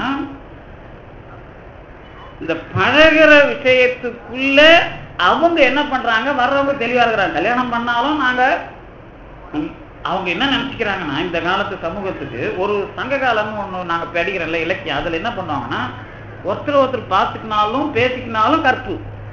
அதுக்கப்புறம் அதை மாற்றிக்க கூடாது இப்படி ஒரு கான்செப்டை வச்சாங்க. நடந்ததா இல்லையான்னு கேட்கக்கூடாது. கான்செப்ட் அப்படி வச்சுங்க. கான்செப்ட்னா ஒரு கருத்து.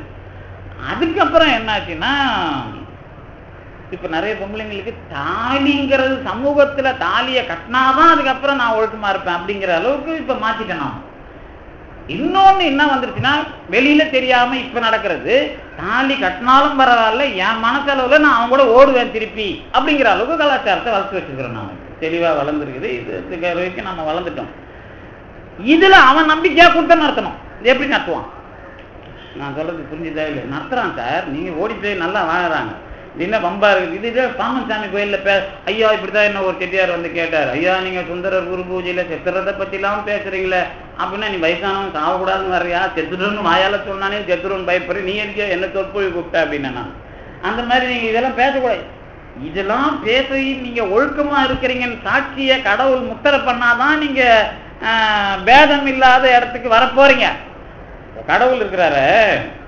நீங்கள் ஏதோ வந்து படிச்சுட்டு பாட்டை பாடிட்டு அப்படிலாம் இது ஒரு பக்கம் கோயில் தொண்டு இதெல்லாம் ஒரு பக்கம் நாம் செஞ்சுட்டு இருக்கிறோம்.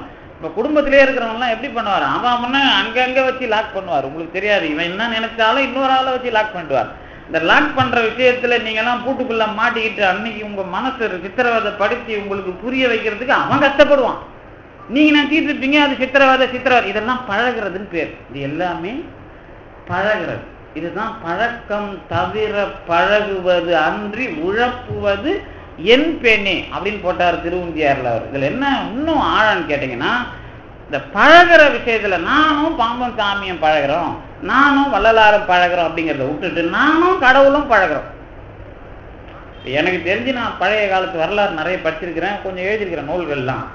நான் தொடக்க ஒரு ரெண்டாயிரத்தி நாலுக்கு முன்னாடி இல்லை ரெண்டாயிரத்தி ரெண்டுக்கு முன்னாடிலாம் பாரதியார் அவ்வளோ அசிங்கமாக பசங்க கிட்ட திட்டுவேன். ஆனால் நான் ஒரு அவரை பற்றி ஒரு நூல் எழுத ஆரம்பித்த பிறகு அவனை தவிர இருபதாம் நூற்றாண்டில் யோக்கியமானவன் எனக்கு எவனும் தெரியல. பாரதியை தவறதும் ஒரு சுத்தமான மனிதர் இன்னி வரைக்கும் நமக்கு வரலாற்றுக்குள்ள அது நீங்கள் யாரை சொன்னாலும் நான் ஒத்துக்க மாட்டேன். கொஞ்சம் டிசப்பாயின்ட் பண்ணுவேன். பாரதியர் தவிர ஒரு நல்ல மனிதனும் ஒரு தத்துவவாதியும் கடவுளை அனுபவிக்கல. ஆனா கடவுளை அனுபவிக்கிறதுக்குள்ள முழு தகுதியில அவன் மட்டும்தான் போராடுறான். ஒரு குழந்தைக்கு ஜுரம் வந்தா கூட சக்தி மா சக்தி காப்பாத்துன்னு குழந்தைய படுக்க வச்சுட்டு புலம்பிருக்கிறான். இதெல்லாம் தா தாங்காதான் அவங்க பொண்டாட்டி வந்து அவருக்கு தெரியாம முத பொண்ணு கல்யாணம் ஊர்ல திருநெல்வேலியில் கொண்டு கல்யாணம் பண்ணி வச்சிருது. இவ்வளவு பிரச்சனையும் தாண்டியே குடும்பம் நடத்துறான். அப்ப வந்து சாதாரண ஆள் கிடையாது. அது மாதிரி நான் அவனை புரிஞ்சுக்கிட்டேன். ஏன்னா அந்த மனநிலையில தெய்வ சிந்தனையோடு கூட சமுதாயத்துல நான் எப்படி என்னை காப்பாத்திக்கணும்? அல்லது நான் ஒழுக்கமானவனா இருக்கணுங்கிறதுல தெளிவான மனநிலையோட தொடர்ந்து வாழ்ந்தவன் பாரதி. எனக்கு எப்படி இந்த வீக்னஸ்லாம் தெரியும்னு கேட்டீங்கன்னா பாரதி பொண்டாட்டி எழுதியோ பாரதி பத்தி பாரதியோட நண்பர் சோமசுந்தர பாரதியார் முதல்ல வரலாறு எழுதுறாரு. அதுக்கப்புறம் பாரதி பொண்டாட்டி எழுதுறாங்க. இதெல்லாம் விட்டுட்டு இந்த மண்டயம் சகோதரர் வீட்டில் மண்டயத்து பொண்ணு ஒன்று எழுதுது. மண்டயம் குடும்பத்தாரில் மண்டயம் குடும்பத்தார் என்னன்னா பாரதியை தனியாக கூப்பிட்டு போய் வச்சு இவன் பெரிய அறிவாளி. இவனை பத்திரிகை இந்து பத்திரிகைலாம் வீணாக பயன்படுத்துது. நாம் தெளிவாக இந்திய சமூக விடுதலை தமிழ்நாட்டில் பண்ணுறதுக்கு பண்ணணும் அப்படின்னு மண்டையம் சகோதரர்கள் தான் வேறு இந்த இந்த நம்ம பிஎட் காலேஜ் இருக்குது இல்லை என்கேடி திருமலாச்சாரியார் குடும்பம் தான். கொண்டு போய் அவரை இந்தியா பத்திரிகையை தொடங்க வச்சு பாரதினா என்னன்னு முழுசா புரிய வச்சுது அந்த குடும்பத்தை சேர்ந்த ஒரு அம்மா தான் பாரதியோட வீட்டில் அவங்க கொண்டாட்டி அவர் என்னென்ன பிரச்சனை சின்ன சின்ன பிரச்சனை நடந்ததோ அதெல்லாம் தெளிவாக எழுதியிருக்கிறாங்க. அவங்க எழுதுனதை வச்சு தான் ஓ பாரதி எந்த அளவுக்கு மனநிலையோட நான் உறுதியோட பொண்டாட்டியோட பழகி இந்த சமுதாயத்துக்கு விடுதலையை பேசினா ஊரை விட்டு பொண்டாட்டியை விட்டு ஓடி போயெல்லாம் பேசலை. அப்ப இந்த மனநிலை தான் பழகுறதுன்னு பேர். இப்ப நீங்க எந்த வரலாறையும் அப்படி ஒழுங்கா படிக்கிறது இல்லை சினிமாவில் காட்டுறது அக்க அது தனி. வரலாறு எவனும் முழுசாவும் எழுத முடியாது. அதுவும் உங்களுக்கு புரியாது. அப்ப ஆனா ஒரு வரலாறுக்குள்ள பழகி நேர்மையும் ஒழுக்கமும் கடவுளை பற்றிய தேடலும் இணைஞ்சாதான் நீங்க முழுசா வெளியே வர முடியும். அப்படி பழகுற விஷயம்தான் நான் இங்க சோறு வாங்கி தின்னலாம் அல்லது பிச்சை எடுக்கலாம் அல்லது என்ன வேணாலும் பண்ணலாம். ஆனால் நான் எதுக்காக பிச்சை எடுக்கிறேன்? நான் எதுக்காக சோறு வாங்கி தூண்டுறேன் அப்படின்னாவது கொஞ்சம் ஞானம் வேணும். அதில் தான் வந்து இப்போ நான் வந்து இப்போ பாம்பன் சாமி கிட்ட இருக்கிறேன். அப்படின்னா பாம்பன் சாமிக்காக நான் அடமெண்ட்டாக சண்டை போடக்கூடாது. பாம்பன் சாமியை பற்றி தெளிவாக தெரிஞ்சுக்கிட்டு நான் பண்ணணும். தெளிவாக தெரிஞ்சுக்கலனாலும் பரவாயில்ல பக்தி செய்யணும். பக்தி செய்யறதுனா வேற ஒன்றும் கிடையாது. அந்த இடத்துல ஏதாவது பொறுக்கி போட்டு குப்பை பொறுக்கி போட்டு அல்லது வந்து சுத்தம் பண்ணிட்டு அங்க யாராவது வந்து கேட்டாங்கன்னா சுத்தமா ஒழுங்கா காட்டிட்டு சுயநோக்கம் இல்லாம செய்யறது பக்தி. ஆனா தெளிவா ஒரு விஷயத்தை நீ சொல்ற அப்படின்னா ஞானம். அப்போ உனக்கு தெரிஞ்சா சொல்லணும் தெரியலன்னா வாய முடிக்கிட்டு இருக்கணும். அங்க சண்டையும் போடக்கூடாது. அதில் தான் பாம்பன் சாமியையும் வள்ளலாரையும் நான் ரொம்ப தெளிவா தொடர்ந்து எல்லா இடங்களையும் பேசிட்டு இருக்கிறேன். இங்கேயும் ரெண்டு வருஷமா பேசினா வள்ளலாரை பத்தி வாயை திறந்தாலே நான் முதல் ஒரு சொற்பொழிவு ரெண்டு சொற்பொழிவுலாம் ஆஹ், கொஞ்சம் கச்சாமச்சான் கச்சாமச்சான் நாங்கள் இவர் ஏன் வள்ளலார வாயை திறக்கிறாருங்க. வள்ளலார் நான் விரோதியா இவங்களுக்கு வள்ளலார் விரோதியா இல்லையான்னு எனக்கு தானே தெரியும். பாம்பன் சாமியே வள்ளலாரை எப்படி பார்த்தாருன்னு எனக்கு தெரியும்ல. அது எல்லாத்தையும் நான் சொல்ல போறது பாம்பன் சாமி வள்ளலாரை எப்படி எப்- பார்த்தாரு? முருகன் எப்படி இவங்க ரெண்டு பேருக்கு நடுவுல சண்டை சமரசம் பண்ணி வச்சார்? உங்களுக்கு தெரியுமா அது? தெரியாது இல்லை எனக்கு தெரியுமே. பாம்பன் சாமிக்கும் முருகனுக்கும் வந்த சண்டையும் வந்து வள்ளலாருக்கும் வந்த சண்டையும் முருகன் நடுவுல நின்று சமாதானமானதும் எனக்கு தெரியும். அதை நம்ம இவங்ககிட்ட சொல்லிட்டு இருக்க முடியுமா? இது எப்படியா உங்களுக்கு தெரியும்? நான் கதெல்லாம் விடுறேன்னு கேட்கக்கூடாது. தெரியும் அவ்வளவுதான். இது எதுக்கு சொல்ல வர்றேன் அப்படின்னா அப்படி சொல்றதுக்கு என்ன தைரியம் அப்படின்னா முதல்ல நீங்க எதுவும் உங்களுக்கு எதுவும் தெரியாதுங்கிற தைரியம் தான் வேற ஒண்ணும் இல்ல. அப்ப வேற என்ன? எனக்கு அப்ப உங்களுக்கு தெரிய ஆரம்பிச்சா நான் சொல்றது சரின்னு தெரியும். அப்ப ரெண்டும் உங்களுக்கு தெரியாதுன்னா அப்புறம் எனக்கு வேலை? அந்த மாதிரி பாம்பன் சாமியோட முத்தி எப்படி? நானே முதல்ல வந்து பாம்பன் எனக்கெல்லாம் வந்து தெளிவு இல்லாமல் உன்னை விளக்க மாட்டேன். பைபாஸ் பண்ணுவேன். பைபாஸ்னா ஜம்ப் ஆகும். அந்த மாதிரி தொடக்கத்துல இருந்தேன். ஆனா வள்ளலார் பாட்டு ஒண்ணு படிக்கும் போதுதான் ஆஹ் இந்த சமாதி ஆகிறவர்கள் மரணமிலா பெருவாழ்வுக்கு எப்படி போறாங்க? ஒரே ஒரு இடைவெளி. பாம்பன் சாமி இருந்து நமக்கு அருள் செய்கிறார் அனுபவிக்க தெரியுது. ஆனா பாம்பன் சாமி உண்மையிலே இருக்கிறாரா அப்படிங்கிறது கேட்டுட்டா சந்தேகம் வருது இல்லை எனக்கு செஞ்சாருங்கன்னு சொல்றதெல்லாம் வேற. இருக்கிறாராங்கிறதுக்கு தெளிவா நான் பதில் சொல்லணும். எப்படி சொல்லுவேன்? அதுக்கு சாட்சியே வள்ளலார் தான் வேற யாரும் கிடையாது. அது எப்படி சாட்சி ஆகுறாருன்னா நான் இங்க தொடக்கத்துல படிச்சு காட்டிருக்கிறேன் அந்த பாட்டெல்லாம் ஒரு பத்து பாட்டு அவர் எழுதியிருக்கிறார். இன்னைக்கு நான் அந்த புத்தகம் எடுத்துன்னு வரல. அதுல முக்கியமான பாட்டு என்னன்னா இந்த சமாதி ஆகிற நிலையில கடவுள் அனுபவத்தை பெற்று கொண்டிருக்கிற சித்தர் நிலையை போன்றவர்கள் தான் சமாதிக்கு முயற்சி பண்ணுவாங்க. அவங்க உடம்போட குழியில இருக்கிற வரைக்கும் இருக்கிறதுக்கு உயிரை கொண்டு போய் சொறிவிடுவாங்க எங்க? மூலாதாரத்திலேயோ இல்ல சாக்கிரத்திலேயோ நிறுத்திடுவாங்க. நிறுத்தின பிறகு கடவுள் அவங்கள டேக் ஓவர் பண்ணுவார். அதுக்கு நடுவுல கொண்டாந்து இங்க வைக்கிறோம்ல. இப்ப பட்டினத்தார் தெரியும் உங்களுக்கு. பட்டினத்தார் குழியை தோண்டிட்டு உட்காந்துடுறார் அவர் சமாதி ஆனாரு அவர் வந்து வள்ளலார் சொன்ன முத்தி அடைஞ்சாரா இல்லையா? போன வாரம் எல்லாரும் பட்டினத்தார் சமாதிக்கு இங்கேருந்து எல்லாரும் போனாங்க. அவர் என்னன்னு தெரிஞ்சு போனாங்கன்னு நான் கேள்வி கேட்டா போன் வரணும் வராது. நான் தான் அதுக்கு தான் தான் கேட்பேன். சித்தர் சமாதிலாம் சோறு சாப்பிட்றதுன்னு போறீங்களா? இல்ல சித்தர்கள் இருக்கிறாங்கன்னு போறீங்களான்னு அதுக்கு தான் கேட்குறேன் சோறு சாப்பிட்றது தான் ஒரு கொள்கைன்னு நிறைய பேர் போய்கிட்டு இருக்கிறாங்க. ஒரு கூட்டம். அங்க போய் இது அதுவும் அதுவும் பட்டினத்தார் சமாதியிலையும் என்ன நடந்திருக்குதுன்னா அவர் நண்பர் ஒருத்தர் சொன்னார் போயிட்டு வந்து அங்க வந்து இந்த அகத்திய ஆசிரமம் அன்னதானம் பண்ற கோஷ்டி இவர் தாயா சித்தர்னு ஆட்டம் பாட்டம் போட்டான். அப்ப அநியாய அக்கிரமத்தை நீங்க ஒரு ஆன்மீகத்துக்குள்ள வர்றவன் போய் அங்க ஆட்டம் பாட்டம் போட்டீங்கன்னா உங்களை அடுத்த பிறவில தொழுநோயாளியாகவும் பிச்சைக்காரனாகவும் ஆக்கி ரோட்ல நிக்க வச்சு உங்களை எவ்வளவு வருத்தப்படுத்தி கடவுள் கொடுப்பான்னு தெரியாது. சமாதி ஆகிறதுக்கு தகுதி வந்துடும் ஆனா தகுதி அடைய விட மாட்டான் தெரு தெருவா அலைய விட்டுருவான். இது சித்தர்களுக்கு நடந்த நிலவரம். உங்களுக்கு இல்ல. உங்களுக்குலாம் அது நிறவே அது கிட்டவே போக முடியாது. சித்தர்கள் தன்மைக்கு வந்த பிறகே கடவுள் இது உனக்கு என்ன சமாதி வேணுமா? நீ போன பிறப்புல சமாதியில போய் இன்னும் அக்கிரமம் பண்ண? ஆஹ், வா உன்னை தெரு தெருவா அலைய விடுறான் ஆனா பிச்சருக்கும் விட மாட்டான். வாங்கி சாப்பிட விட மாட்டான். உட்காரவும் விட மாட்டான். தெரு தெருவா. என்ன கார்ல அலைய விடுவான். அவ்வளவுதான் இருக்கு. இப்ப முன்னெல்லாம் நடக்க விட்டு அலைய விட்டான். இவ்வளவுதான் கடவுள் பண்ண. எனக்கு தெரிஞ்ச சாட்சி இதெல்லாம் இதெல்லாம் பொய்யெல்லாம் சொல்லல. இது நிறைய சாட்சி இருக்குது. ஏன்? அந்த மார்க்கத்துக்கு போறவங்களையும் அலைய விடுறான்.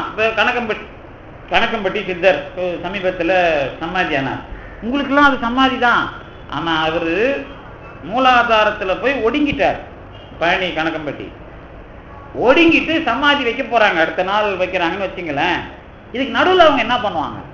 அப்படின்னா அவங்க யார தலைவராக நினைச்சாங்களோ அல்லது அவங்க எந்த கடவுள் அல்லது பெரிய கடவுள் என்ன பண்ணனா அவங்களுக்கு ஆர்டர் போடும். என்ன ஆர்டர் போடும்னா நீ இங்க போய் இன்னார பார்த்துட்டு வா அவங்களுக்கு சொல்லிட்டு வா அல்லது அவங்க கிட்ட கேட்டுட்டு வா அதுக்கு மட்டும் சொத்து விடுவாங்க அன்னைக்கு மட்டும். அன்னைக்கு தான் அந்த நீங்க வேதம் படிக்கிறவங்க எல்லாம் தெரியும். இந்த உயிர் போகுதுன்னா ரெண்டு பேர் கூடி கூட்டிட்டு சுத்துவாங்க. நீங்க ஒண்ணும் பண்ண முடியாது. அவங்க சுத்தி காட்டுற இடத்தெல்லாம் நீங்க பார்க்கலாம். அப்படின்னு ஒரு வரலாறு இருக்குது. அதை கொஞ்சம் நீங்க அப்படியே நம்ப தேவையில்லை.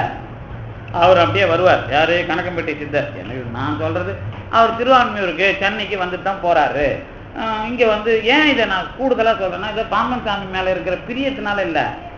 இப்போதைக்கு தமிழ்நாட்டில் யாராவது முத்தி அடைகிறாங்க அப்படின்னா அவங்கெல்லாம் பாம்பன் சாமியை வந்து பார்த்துட்டு ஒரு வணக்கம் போட்டு போகணும் அப்படிங்கிறது எனக்கு தெரிஞ்ச உண்மை.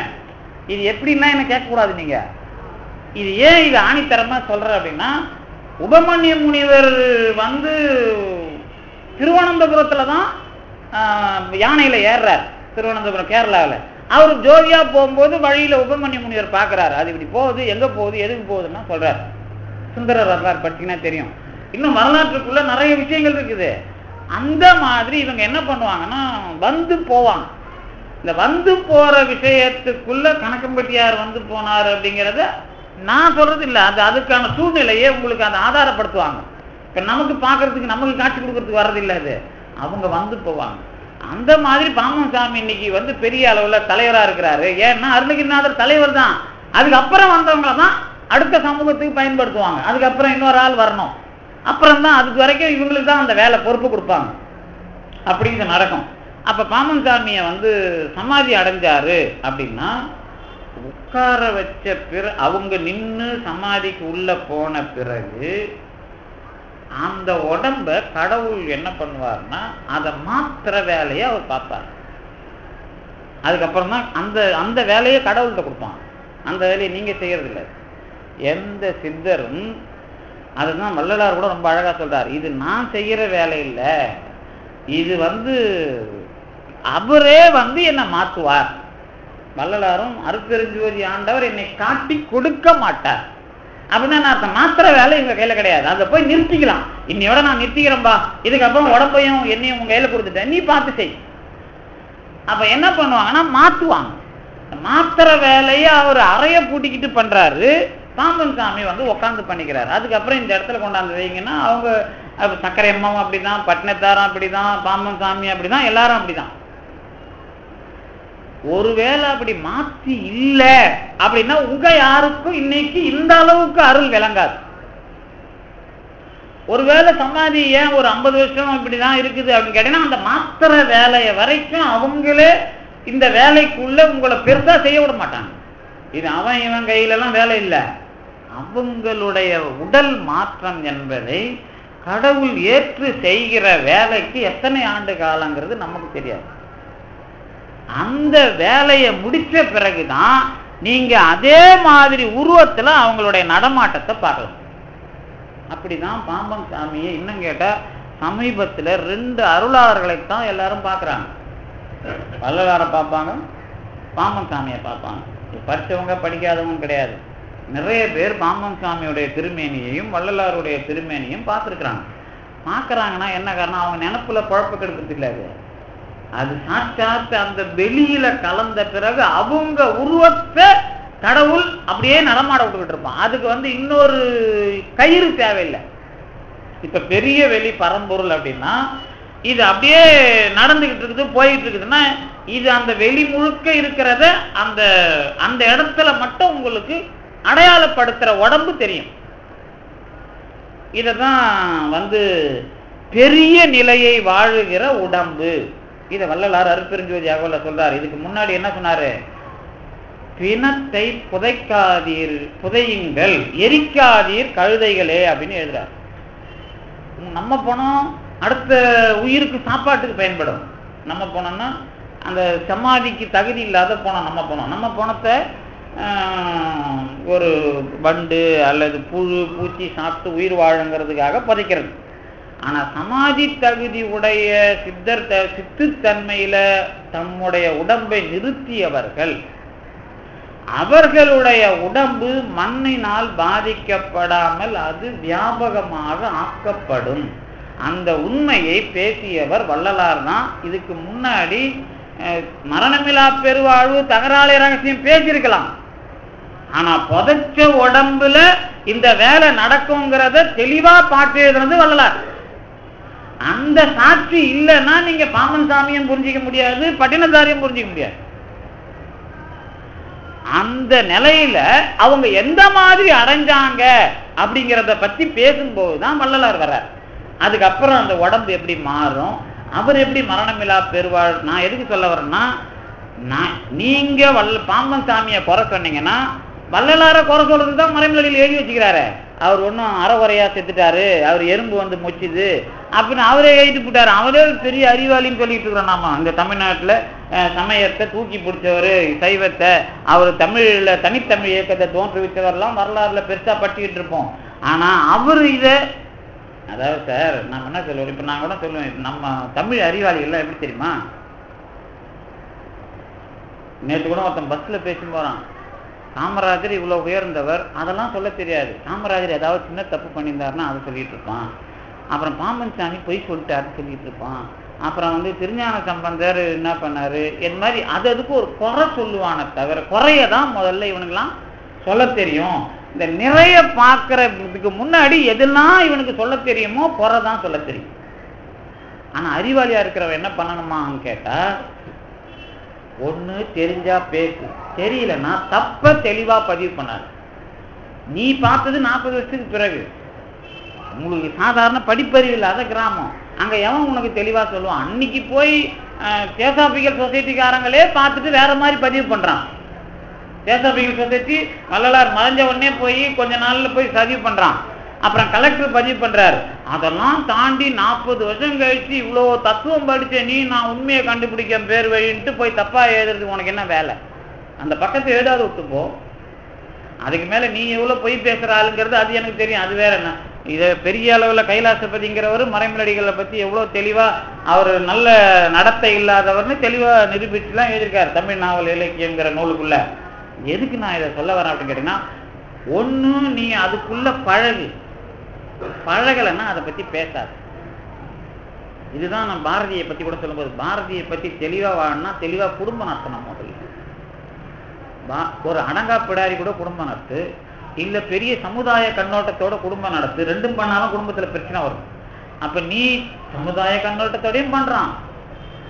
வீட்டுல எந்நேரமும் தொந்தரவு கொடுக்குற பெண்டாட்டியோட ஒண்ணும் இல்ல. ஒரு நாள் பாரதியோட கோட் ஒரே கோட்டு தானே போட்டுன்னு வந்து அங்கிருந்து வச்சிருந்தாரு. அதுல பின்னு போட்டு தான் போட்டுட்டு இருப்பாரு. இங்க திருவள்ளிக்கேன்ல இருக்கிறப்ப ஒரு நாள் கதவை போட்டிக்கின்னு பாரதி அழுகுறாராம் ஏன் அழுகுறாருன்னா இந்த பின்னு அந்த அம்மா சா- அந்த அந்த இது துணி எடுக்கும்போது குத்திட்டான் கையில. அதுக்கு இவரை திட்டிக்கிறாங்க. திட்டின உடனே கதவை போட்டின்னு ஒரு நாள் முழுக்க எழுதுந்துக்கிறாரு மூஞ்சி நீங்க போயிருக்கு இதை இதெல்லாம் அந்த அம்மா எழுதுறாங்க. எதுகிரி அம்மான்னு பேரு. மண்டயம் எதுகிரி. அவங்க வரலாறு எழுதினவங்க. அது எதுக்கு சொல்ல வராங்கன்னா அப்படியும் ஏத்துக்கிட்டு அழுகுறான் அழுகுறதும் அதுக்கப்புறம் புரிஞ்சுக்கிறான். அதுக்கப்புறம் அதுல இருந்து வெளியே வரல. பிரச்சனை என்ன அப்படின்னு கேட்டீங்கன்னா நான் என் ஸ்டாண்டு என்னோட நிலைப்பாடு இதுல நான் பழகும் போது இதுல நிக்கிறேன். இந்த பழக்கத்துல ஒரு உண்மையை தெரிஞ்சுக்கிறேன். இதுல உண்மையை தெரிஞ்சுக்கிறத விட்டுட்டு நான் போய் கோளாரா பேசுறேன் இன்னைக்கு அவரை எதிரில இருந்து பாக்குறேன்னா உனக்கு வாழ தெரியுமா? இன்னைக்கு இருக்கிறவங்களாம் எவ்வளவு வசதியா வாழறான்னு தெரியும் உங்களுக்கு. பேசுற பெரிய பெரிய ஆள்லாம் எல்லா எல்லாரும் கோடிக்கணக்கில் சொத்தை வச்சுக்கிட்டு அவரு பெரிய இவரு இவர் பெரிய இவருன்னு பேசிட்டு இருக்கிறான். ஆனா அன்னைக்கு காசு பணம் இல்லாம ஒவ்வொரு விஷயத்துக்கும் கஷ்டப்பட்டு குடும்பத்தையும் காப்பாத்திக்கிட்டு கொள்கையும் பேசிக்கிட்டு அப்புறம் எல்லா பிரச்சனைகளோடையும் வாழ்ந்தவனுக்கு இருந்த வழி உனக்கு சுத்தமா தெரியாது. வாழ தெரியாதவன் நீ. அப்ப நீ பழக தெரியாதவன் அர்த்தம். பழக தெரியாதவன் இன்னொரு ஆளை பத்தி சொல்றதுக்கு தகுதி இல்லாதவன். உனக்கு தெரியாது. இதுக்கு மேலே சொல்லிட்டு போயிட்டே இருக்கணுமே தவிர சொல்றதுக்கு உனக்கு என்ன வேணும்? அதோட கொஞ்சமாவது பழகி இருக்கணும் நோய் வருது. நோய் வந்தாலும் நான் அதுக்குள்ள அந்த நோய் எப்படி வருது எதுவா வருது சமுதாயத்துல அந்த நோயை பா- இனிமே அடுத்தவங்களுக்கு இப்படி வரும்பா இதுல நீ எச்சரிக்கையாரு அப்படின்னு நான் சொல்ல கத்துக்கணும். அல்லது டாக்டருக்கு எல்லாருக்கும் நோய் தெரியாது. எல்லா டாக்டருக்கும் நோயோட முழு தன்மை தெரியாது. இப்போ சக்கரை வியாதியை பத்தி எல்லாம் முடிச்ச எல்லா டாக்டரும் மூச்சை பிடிச்சின்னு பேசுவான். ஆனா சக்கரை வியாதி எப்படி எப்படிலாம் பிரச்சனை பண்ணுங்கிறது டாக்டருக்கு தெரியாது. நோய் வந்தவனுக்கு தான் தெரியும். அவனை கேட்டு இவன் எழுதிக்கணும். ஓஹோ உனக்கு தொடக்க காலத்துல அரிப்பு வந்துதா? தொடக்க காலத்துல தோல் பிரச்சனையை தெரிஞ்சுதா? அதுக்கப்புறம் உனக்கு வந்து உன்னை உன்னை வந்து என்னென்ன மாதிரி உன் உடம்புல விஷயம் நடந்ததுங்கிறதெல்லாம் மெடிக்கல்ல பதிவு பண்ண மாட்டான். ஆனா இதெல்லாம் தெரிஞ்சாதான் இவன் அதை சொல்ல மாட்டான். கடைசி வரைக்கும் அவனும் கேட்க மாட்டான். நோய் முத்திட்டா உடனே மாத்திரை எந்த அதாவது இந்த தொடக்க நிலை சிம்டம்ஸ் இருக்குல்ல இந்த தொடக்க நிலை சிம்டம்ஸ் எல்லா டாக்டருக்கும் தெரிஞ்சுட்டா பெரும்பாலான நோயே இருக்காது. எனக்கு தெரிஞ்சு இந்த எம்பி இவர் இருந்தார் நம்ம இங்கே இந்த லேபர்லாம் இருந்தார் ஒருத்தர் இங்கே நந்தனத்தில் குப்புசாமி. அவருக்கு ஃபேமிலி டாக்டர் நம்ம நண்பர். தொடர்ந்து குப்புசாமி வைத்தியம் பண்ணுவார் குப்புசாமி மனைவிலாம் வைத்தியம் பண்ணிட்டு இருந்தார். நான் கொஞ்ச நாள் நின்றுட்டேன் அவர்கிட்ட இருந்து. போ இந்த பழக்கம்லாம் வந்து டாக்டர் என்ன பண்ணார்? திடீர்னு குப்புசாமி ஒய்ஃப் கூப்பிட்டு வச்சிருந்தார் எப்படின்னா பிளட் கேன்சர் ஐயோ நீ தான் ஏன் ஃபேமிலி டாக்டர் எப்படி அது உனக்கு இவ்வளோ நாளாக தெரியாமல் இருந்தது. அது வந்து திடீர்னா கொதிக்குது. ரத்தம் கொஞ்சம் கொஞ்சமாக மாறின்னு தான் வரும். ஹேமட்டாலஜியில் தெரிஞ்சிடும் உங்களுக்கு அதாவது பிளட் ஹீமோக்ளோபின் ஏறும் பிளேட்லெட் செல் ஏறும். பிளேட்லெட் செல் ஏறிக்கிட்டே வந்தால் தெரியும். இது வந்து திடீர்னு ஒரு நாளைக்கு கொதிக்காது அது. வேற வேற சிம்டம்ஸ் இருக்கும். இந்த வேற வேற சிம்டம்ஸ் இவங்களுக்கு தெரியாது. அதனாலதான் நோய் வந்தவனுக்கு தான் அது தெரியும். எந்த டாக்டரும் நோய் வந்தவனை வச்சு மருத்துவ நோய்க்குறியலை எழுதுறது இல்லை மருத்துவத்துறையில நாம அதை படிக்கிறது அதை தெரிஞ்சு அதை தான் நம்ம நாடி பார்க்கறது வச்சோம் கிராம அந்த காலத்து வைத்தியர்லாம் சிம்டம்ஸ் தெரியும். அதை சொல்லிடுவாங்க. சிம்டம்ஸ் உடம்ப வச்சே கண்டுபிடிச்சிருவாங்க. ஆனால் இன்னைக்கு வர டாக்டர்களுக்கு டெஸ்ட்டை வச்சு தான் மருத்துவம். அப்போ இந்த மாதிரி நீங்கள் வர்றீங்கன்னா பழகிறது இல்லைன்னு அர்த்தம். பழகினா தானே காப்பாற்ற முடியும். பழகினா தானே உண்மை தெரியும். அதுதான் நீங்க அவங்களுக்கு நோய் வரணும் ஒரு ஒருவேளை டாக்டருங்களை நாம என்ன பண்ணோம்னா இனிமே ஏதாவது ஒரு டாக்டர் சுகருக்கு வைத்தியம் பண்ணோம்னா அவருக்கு சுகர் நோய் வரணும் வர வைக்கணும் அவருக்கு முதல்ல. அப்படின்னு வச்சிக்கோங்களேன் அப்போ தானே அவர் பழக அந்த அளவுக்கு தெரிஞ்சுக்கணும். வரணும்னு அவசியம் இல்லை. அந்த அளவுக்கு தெரிஞ்சுக்கணும். அப்படி நீங்க வச்சிங்களேன். அந்த மாதிரி தான் கடவுளோட பழகிறவனுக்கு தான் கடவுள் நிலையை அடைஞ்ச நான் எதுக்கு இதெல்லாம் மல்லடிக்கிறேன்னு கேட்டீங்கன்னா கடவுளை பற்றி உலகத்தில் எல்லா இடத்துலையும் அனுபவித்து பேசலாம் அனுபவிச்சு பேசின இடம் இங்கேங்கிறதுனால நீங்க தைரியமா பேசணும்னா தெளிவாகும். அதுக்கு தான் நான் இங்க இந்த தெரிஞ்சோ தெரியாமலோ திருஞான சம்பந்தர் தமிழ்ல பாடிட்டார். அல்லது கடவுள் பாட வச்சான். அதுக்கப்புறம் வள்ளலார் பாம்பன் சாமி வரைக்கும் கடவுளை அனுபவிச்சு அனுபவிச்சு தான் நம்ம சொல்றோம். எது ஆறுதலுக்காகவோ அல்லது சும்மா உள்டாவாவோ பேசல. இந்த அனுபவிக்கிறதுன்னு வந்தா நீங்க பழகணும். பழகாம அது சத்தியமா வராது. பழகிறதுனா கடவுளோட கோயிலுக்கு வந்து பழகிறது இல்லை உங்க தன் உண்மையை வச்சுக்கிட்டு நீங்க பழக ஆரம்பிச்சாதான் பாம்பனார் மறைஞ்சது அறகுறை இல்ல வள்ளலார் மறைஞ்சது அறகுறை இல்ல. நான் என்ன இப்படிதான் கேட்டாங்க. மறைமலடிகள் வந்து ஏன் அவருக்கு இதெல்லாம் புரியல? அவர் தான் நிறைய சாமியார் வேஷம்லாம் போட்டாரு. வீடு வேற எப்படி கட்டினார் தெரியுமா? மறைமலடிகள் மாளிகை பல்லாவரத்தில் போனீங்கன்னா பெரிய மாளிகை. எப்படி கட்டினாருன்னா இந்த மாதிரி சொற்பொழிக்காரங்களாம் காசு கொடுத்து இடம் போட்டு வீடு கட்டி பெரிய மாளிகை படம் பார்த்தீங்கன்னாலே பிரம்மாண்டமா இருக்கும். இதெல்லாம் பண்ணாரு. காவி வெட்டி தான் கட்டிக்கிட்டாரு. சுவாமி வேதாச்சலம்னு வேற பேரை வச்சுக்கிட்டாரு. ஆஹ் சுவாமி மறைமலையடிகள்னு பேரை வச்சுக்கிட்டாரு. ஆஹ் இப்ப இதுல எல்லாம் வந்து இவ்வளவு பண்ணாரு. ஏங்க அவருக்கு இதெல்லாம் அனுபவத்துல அவர் ஒழுக்கம் இருந்தால் தான் தெரியும். ஒழுக்கம் இருந்ததா இல்லையாங்கிட்ட அப்புறம் எனக்கு தெரிஞ்சு கடவுளை பத்தி நீ தெளிவா எழுத தெரியல. கடவுளை பத்தி அனுபவிச்சவங்க இவ்வளோ பாட்டு எழுதிக்கிறாங்கயா வள்ளலாறு அத்தனை பாட்டு பொய்யா பேசினான்னு ஆயிடுது இல்ல? ஒரு இப்ப பாம்பன் சாமி ஆறாயிரத்தி அறுநூத்தி அறுபத்தாறு பாட்டு எழுதிக்கிறாரு. ஒரு சின்ன விஷயத்துல பாம்பன் சாமிங்கிறவர் பானதெல்லாம் பொய்ன்னு சொல்ல தெரியுதா இல்லையா? அவர் அனுபவிக்கலன்னா வேஸ்ட் இல்லை? ஆறாயிரத்தி அறுநூத்தி அறுபத்தாறுன்னு டப்பா இல்ல? என்ன சார்? வந்து கோபம் வர தேவை சீரியஸ்னஸ் தெரியுதான்னு கேட்குறேன் அதாவது அதுல இருக்கிற பிரச்சனை தெரியும் ஆறாயிரத்தி அறுநூத்தி அறுபத்தாறு பாட்டுமா போய்? அப்ப ஆறாயிரத்தி அறுநூத்தி அறுபத்தாறு பாட்டுல ஒண்ணுல கூட நான் நிக்கலன்னு அர்த்தம். அப்ப ஒரு கேரக்டர் பாட்டுல நிக்க தேவை எனக்குள்ள ஒரு கேரக்டரும் வரலன்னு அர்த்தம். எல்லாருக்குள்ளேயும் ஏதாவது புருஷன் கொண்டாட்டிக்குள்ளேயே ஒரு கேரக்டர் கூட ஒத்து வரலன்னா தொலைஞ்சிரு. அப்படித்தான் பா- யாரு அபையார் சொல்றாங்க. என்னது? கூறாமல் சன்னியாசம் கொள். அது பொண்டாட்டி வச்சு பேசுறாங்க. புருஷனை வச்சும் அப்படிதான் அதாவது எங்கேயாவது அதை மோதி பார்த்து அதை பண்றது. ஆனா நாம பொதுவுல என்ன சொல்றோம்னா நீ தப்பானவனா கூட இரு. ஆனா எல்லாத்தையும் புலம்புறதுக்கு தானே புருஷன் முடாட்டியா அதாவது ஆண் பெண் படைப்பே உன்னுடைய வக்கரம் வெளியே அங்கதான் அம்மனமா வருது வேற எங்க நீ அம்மனமாவ பெத்த அப்பா அம்மா கூட அம்மனமா பாக்குறதுக்கெல்லாம் தகுதி கிடையாது. குழந்தைய சின்ன வயசோட சரி. அதுக்கப்புறம் இதுக்குள்ள ஏன் வருதுன்னா உன்னை அம்மனப்படுத்துறது உன்னை நிர்வாணப்படுத்துறது. உன் அதனால தானே புத்தர் நிர்வாணம் பேர் வச்சார் உன்னை நிர்வாணப்படுத்துறதுக்கு தான் திரு துறவிங்களுக்கு இருக்கிற விஷயம்லாம் வேற. நீ நிர்வாணம் ஆகணும்னா உன்னுடைய மொத்த வக்கரமும் அழிஞ்சு அதுக்கப்புறம் ரெண்டு பேரும் அண்டர்ஸ்டாண்டிங் வரலன்னா அதுக்கு அதுக்கப்புறம் கூட உங்களுக்கு அது என்ன பொறப்பு அப்படிங்கிறது தான் கேள்வி. அதுதான் ஆன்மீகத்துல நாங்க கொண்டு வரோம்.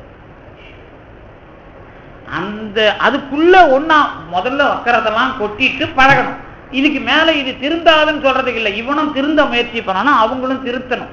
அல்லது அவங்க திருந்தனும் இவன் திருத்தணும். இந்த ரெண்டு பேருக்குள்ள அறிவு சம்பந்தமான விஷயம் தான் அதை முடிவு பண்ணும் அதை ஏத்துக்கணும். அதுக்கப்புறம் தான் பழகிறது. அதுதான் பழக்கம் தவிர பழகுதல். ரெண்டு பழகுதல். ஒன்னு பழக்கம். நமக்கு இருக்கிற என்ன பழக்கம்?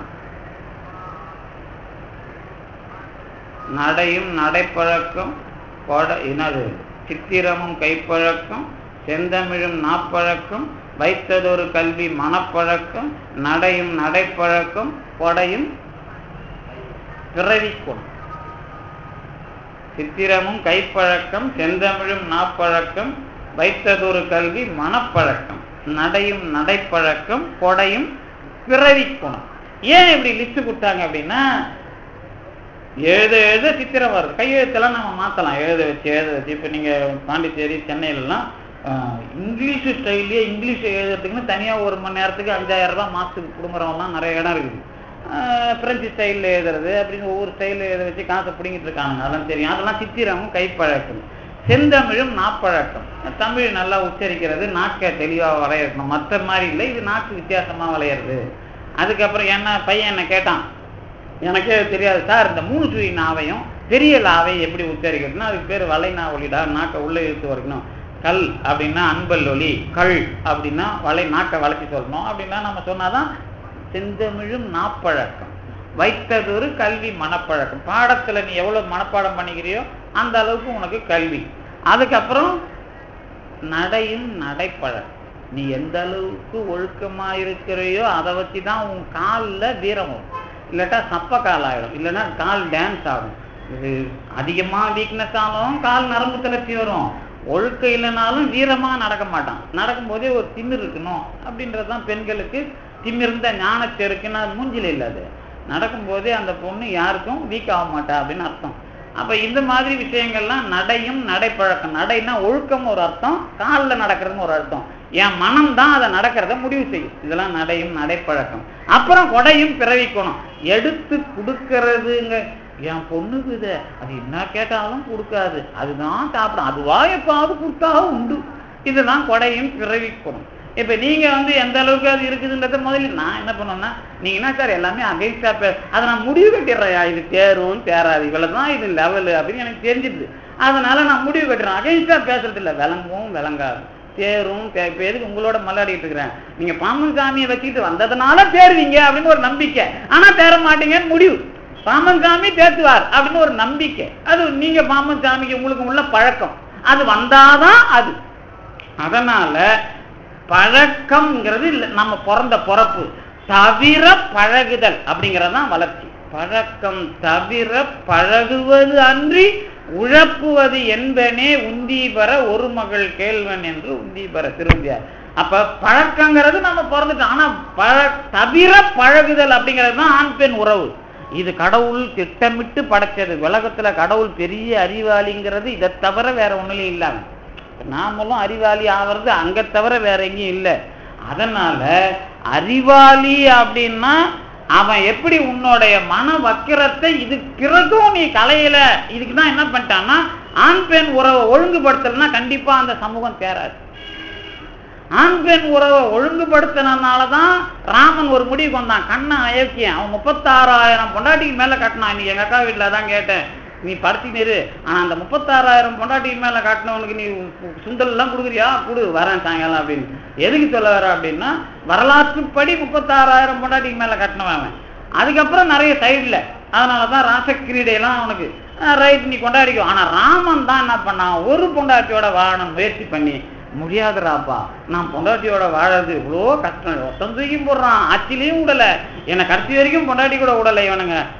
நதியின் பிழை என்று நறும்புணலின் விதியின் பிழை நன்று நம்ம கொட்டுறோம் நம்ம சுற்றம் நல்லா இருக்குதுப்பா.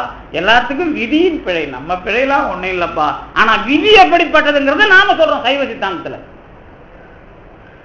அதாவது அவன் சொன்னான் தண்ணி இல்லைன்னா அது அதோட பிழை கூட இல்லடா.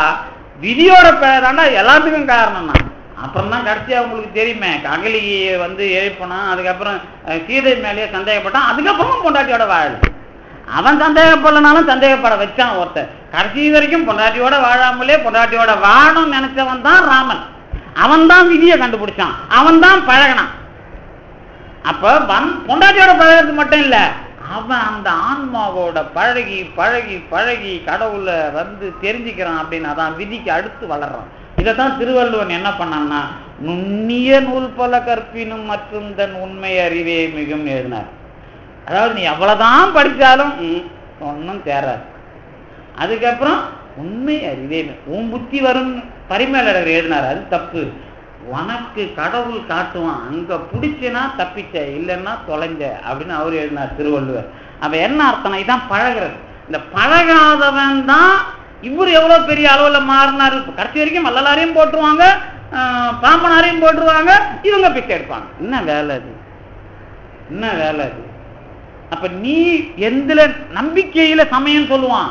இந்த இலங்கையிலேருந்து ஒருத்தர் வந்தார். சமயம்னா என்னன்னு என்னை எடுத்த உடனே கேட்டார் அவர் பெரிய சித்தாஞ்சி நினைப்பு என்கிட்ட வந்தார். அவர் கேட்டார் நான் அவர் நான் ஒண்ணு சொன்ன உடனே அவர் இல்லையே நம்பிக்கையில் தானே சமயம் அப்படின்னார். எனக்கு அது இல்லப்பா. சமயம் என்பது தொடர்ந்து நம்பிக்கையை ஏற்படுத்தினால் சமயம். நம்பிக்கையிலிருந்தே வளர்றது அது. நான் கடவுள் இருக்கிறாருன்னு அவர் எனக்கு நம்பிக்கை தர்றார். அதுதான் என்ன மேலே ஏற்றுமே தவிர நான் கடவுளை நம்பிக்கிட்டு வேலை பார்க்கறதில்லை. இதுக்கு பேர் தான் பழகிறது. நீங்க நம்பி போறதுன்னா நம்பி கெடுறது அது. நீங்க ஒண்ணும் நம்ப வேணாம். உங்களுக்கு இன்னும் அறிவு இருக்குது. நீங்க வாழற முறைப்படி வாழுங்க உங்களை நம்ப வைக்கிறது அவன் வேலை.